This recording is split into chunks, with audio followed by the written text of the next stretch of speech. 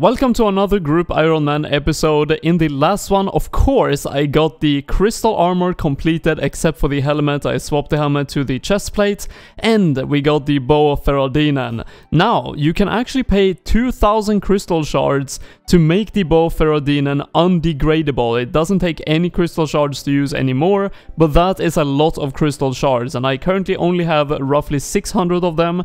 So what I'm going to start off this video by doing is Zalcano masses and just farm a lot of crystal shards and also some decent smithing supplies. So when doing Zalcano masses, the kills are extremely fast and you really only need to get your minimal stats in, which is like 50 health done and 50 damage to the shields, which can be kind of hard sometimes with so many people in here because it just dies so quickly but as long as you do the damage, you should be getting the crystal shards. On average, you should be getting around 1 to 3 crystal shards per kill, so if I need 1400 of them, that is a lot of kills. It's going to be roughly 700 kills that I need to do, so uh, yeah, let's get grinding.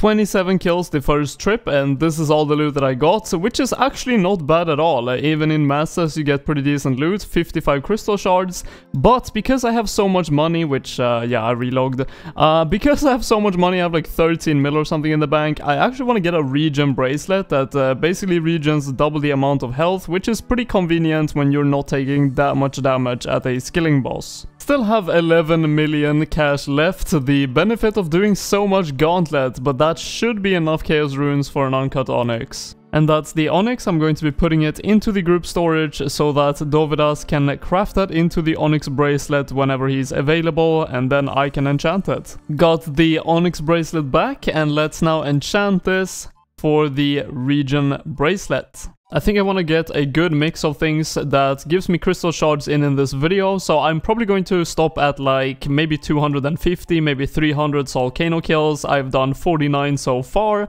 and after that I might do some gauntlet, I might do some other things that gives crystal shards, I guess we'll see.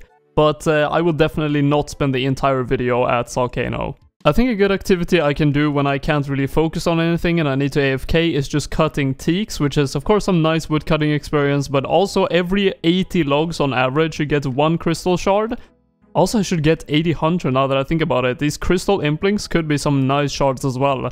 Might go for that, not sure, but uh, in the kind of near future I want to catch these.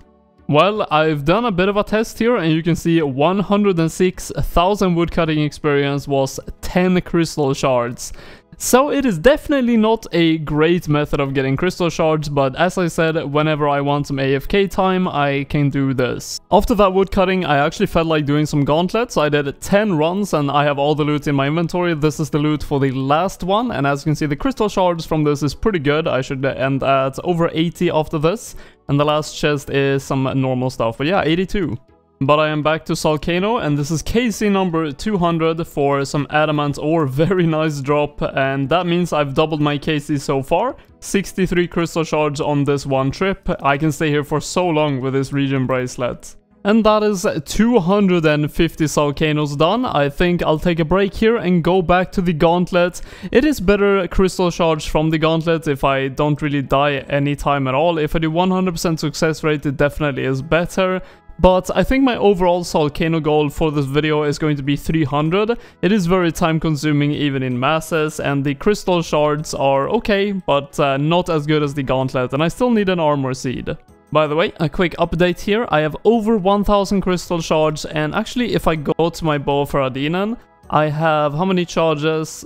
Like 19k and that is 190 crystal shards. When you do actually corrupt it, it discounts that. So I actually only need like 1810 crystal shards but I also need to get uh, 82 smithing to be able to corrupt it from 72, so that's 10 levels. I get some uh, supplies from Zalcano, of course, which is great.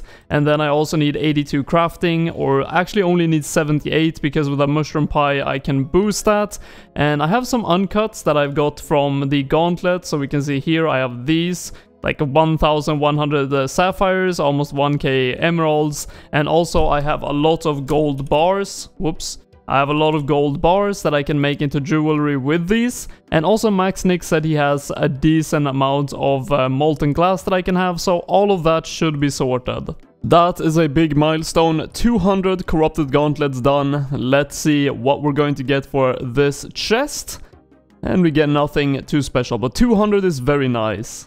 I want to work on my crafting a bit, so I'm going to get as much out of the gems I have that I've got from the Corrupted Gauntlets. I'm going to be crafting all of them and then also use my gold bars that I have like 9,000 of and make jewelry out of them and let's see what level we end at. Quite a lot of crafting later. This is going to be actually two big milestones, 70 crafting and 1725 total. So that is going to be actually two broadcasts in the chat. Look at that, that is so many broadcasts.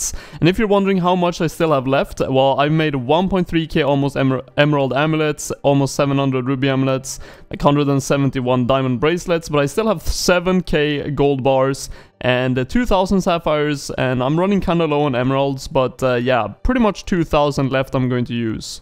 I have a question to you guys. Uh, what is the most boring slash annoying skill to do in old school RuneScape in your opinion? And no, you cannot say runecrafting because every comment would be runecrafting if uh, that was allowed. So, in the comments, please let me know what the most annoying skill in the game is for you.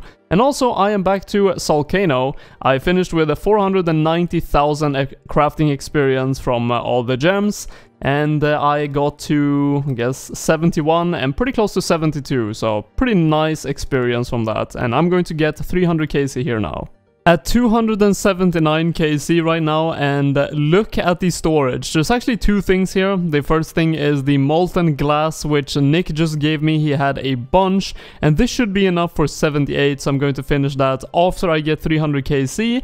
But also look at this.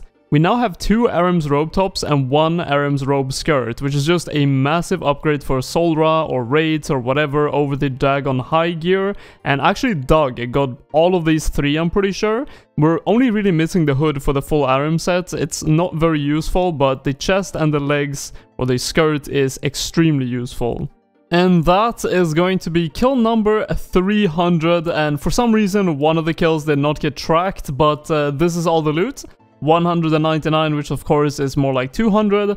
But uh, yeah, 8.8 million, but basically all of them was done in masses, so uh, you get a lot less loot that way, but you get basically the same amount of crystal shards, and that is why I did it in masses. But uh, yeah, still pretty good amount of mithril bars. Also like, look at these adamant ores. All these can be made into bars if we have the coal for it.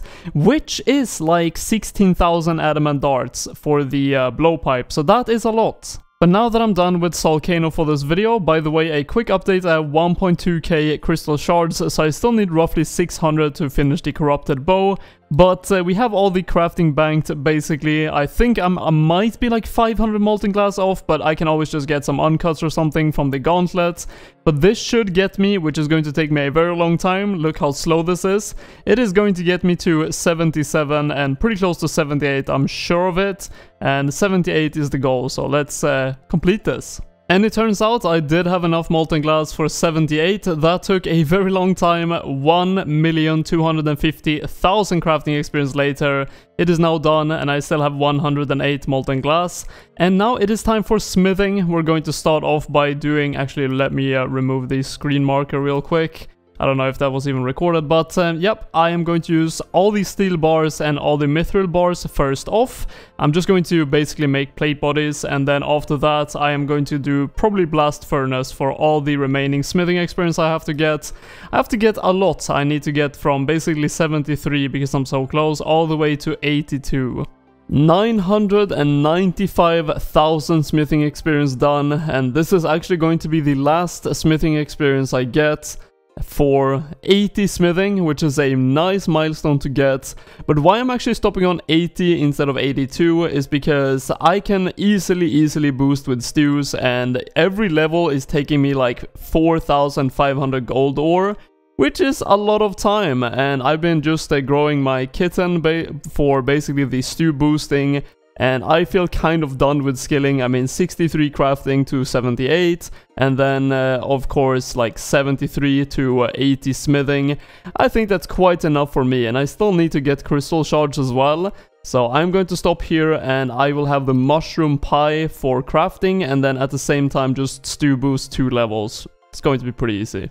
Obviously the goal of this video was to get the corrupted bow of Faerdhinen, but 600 more crystal shards is just way too much to grind out. It's like 70 corrupted gauntlet completions, which uh, is quite a lot, and I would love to uh, upload a video in the next week. So uh, I'm going to do some corrupted gauntlets, but uh, I'm going to be realistic. I might do like 15 or something like that, and then that's going to be it for the video. Let's see what we get for this one, and we get average drop, I guess.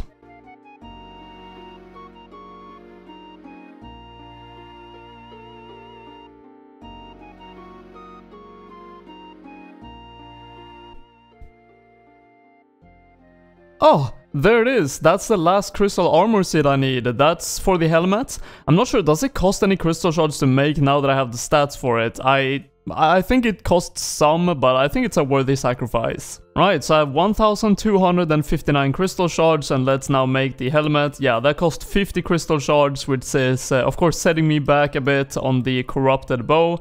But having the full set now is really nice for bossing. I don't really need to be on a Slayer task now because otherwise I would have wanted the Slayer helmet for obviously the full damage bonus, but now I can just use the Crystal helmet for like God Wars bosses and stuff. And that is the full crystal armor with the bow Faradin and of course uh, looking very nice. The overall damage bonus that this bow now has with the full crystal set is 30% more accuracy, which means I miss so rarely. Like Using this full set gives me insane accuracy and that is why the DPS on this bow is so extremely high, as well as 15% more damage, which makes it a absolute beast of a weapon. Because I have so many shards left to farm and it is going to take a very long time, I am going to end the video here and in the next one I am going to be corrupting the bow and focusing on using the bow at different areas in the game, just trying it out with the full crystal armor, which is going to be very interesting. Uh, but I hope you guys did enjoy this video, like the video if you liked it, subscribe if you want to see future content. Also you can click any of the videos on the screen right now if you want to be uh, watching a video right away. But until next time guys, Take care.